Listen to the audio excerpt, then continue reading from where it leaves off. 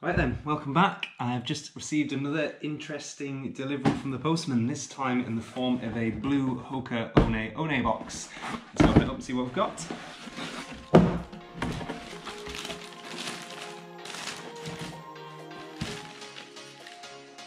so there we have it. It is the Hoka One One Carbon X shoe.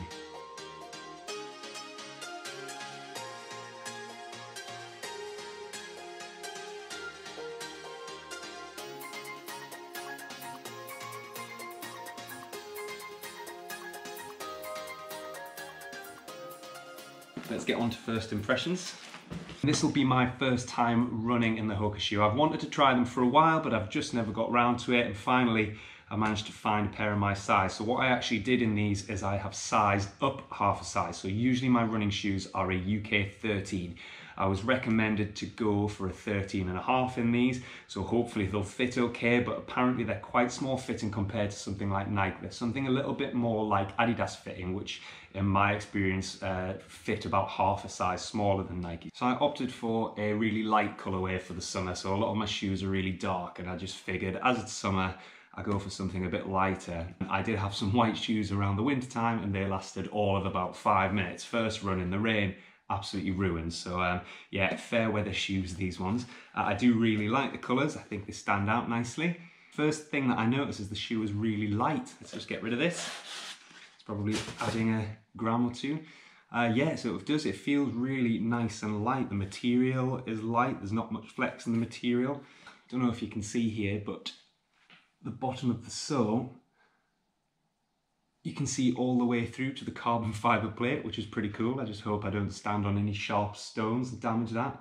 The one thing that I would comment on though, and that's just really the way that the Hoka branding is almost just dyed into the shoe. It just doesn't look all that great quality. The upper material is all one piece. It feels it feels thin. There's not much flex in it, but it feels pretty good quality.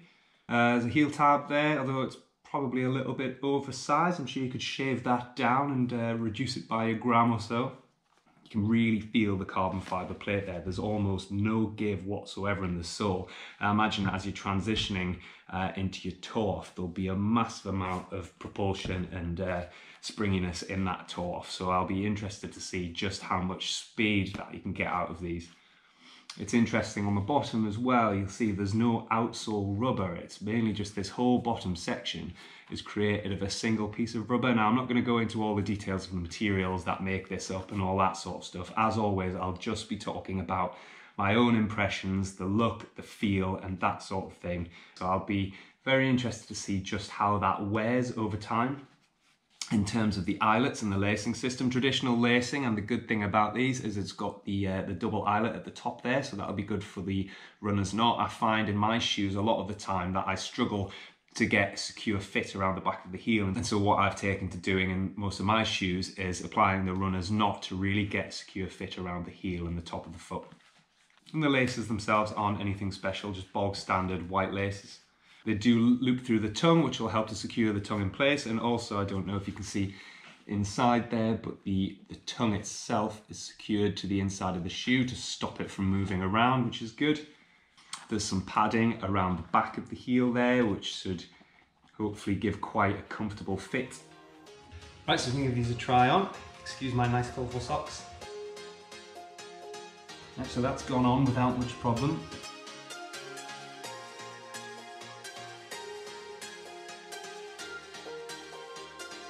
Perfect sizing.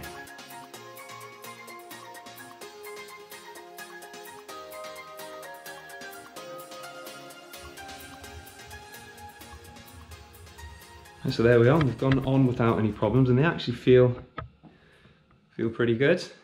It's immediately noticeable that they're not a soft and really cushioned shoe. They feel quite sturdy, so that carbon fibre plate is really giving you a sturdy rock from the heel towards the forefoot and you can just imagine as you're running how that's going to feel and propelling you forward. Something similar to like maybe the Zoom Fly from uh, Nike or the Vaporfly.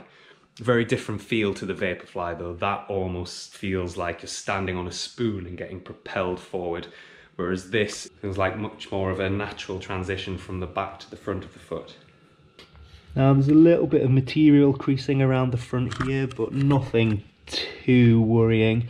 Uh, I've got quite wide feet and so you can see my feet are bulging out slightly here, but where the upper is attached to the midsole feels fairly sturdy, so I don't think there's going to be much of a problem.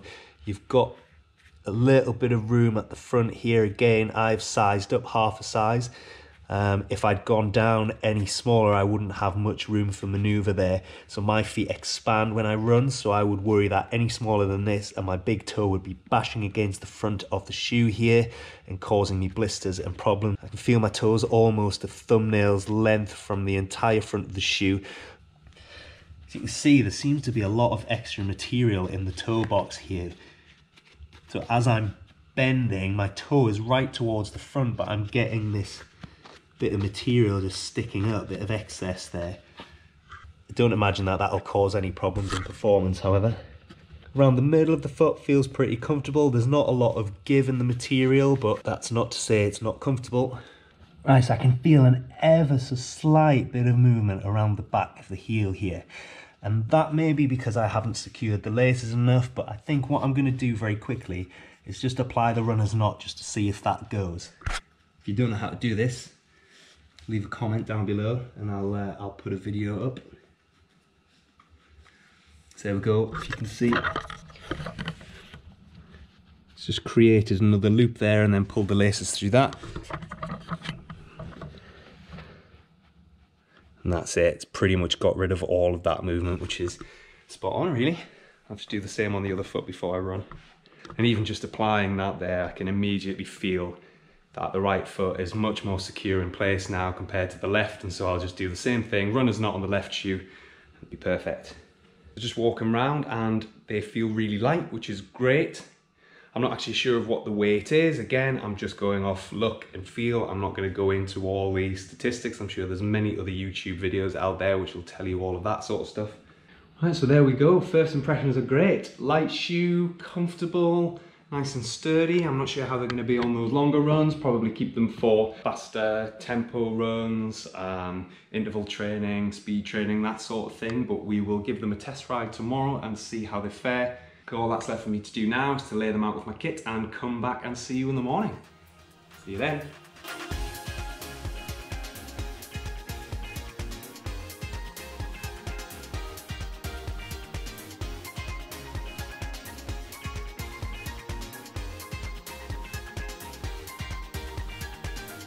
Right then, here we are, 6.45. Let's get this done.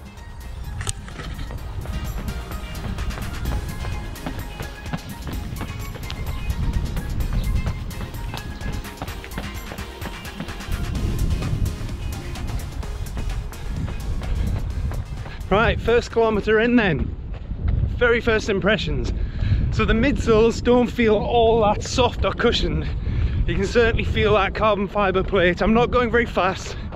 Just taking it nice and easy. So i'm not sure how this shoe will do on longer runs whether it'll remain comfortable. I mean no problems with that so far but you can just tell they're not a cushion shoe.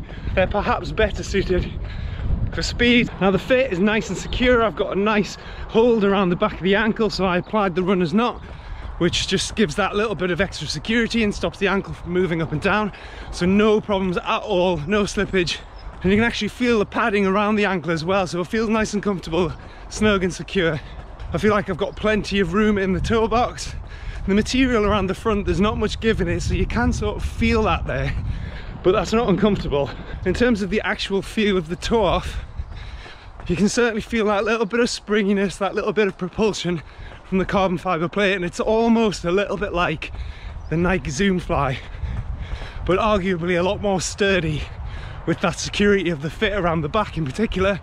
If you compare to something like the Zoom Fly Flyknit which I've got the sock like fit of that compared to the locked in fit of this this is a lot more stable secure and comfortable.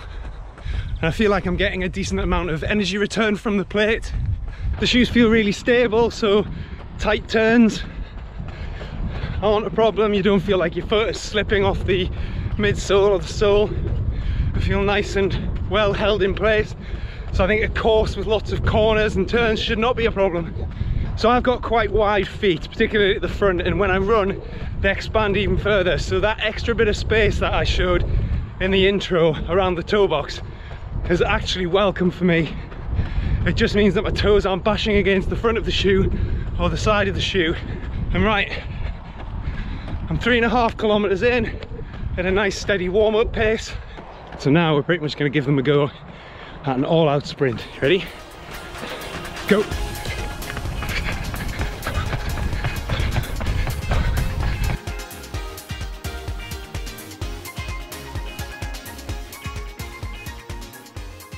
Now I pretty much went all out there for 200, 250 meters or so and it picked up the pace really well, felt really fast. The only problem I felt was at the front of my foot, so going back to the point about the space in the toe box, great when you're running slower, but when I was really giving it some, my foot was sort of bashing back and forward a bit.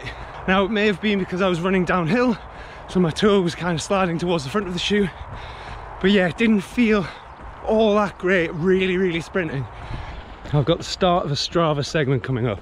It's about two and a half kilometers. I think the record is around 350 a kilometer. So I'm going to pick the pace up, try and hold it around 345 and just see how we go, see how it feels over that slightly longer, slightly more push pace. Here we go.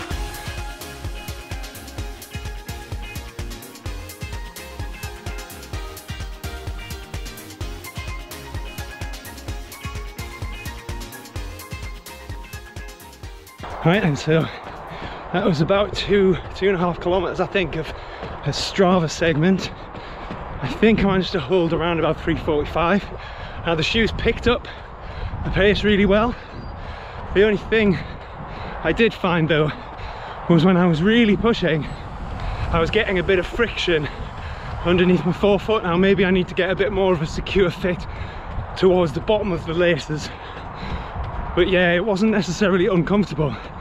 But I can imagine if you were pushing that for maybe a 10k race or a half marathon, it would become a little bit uncomfortable.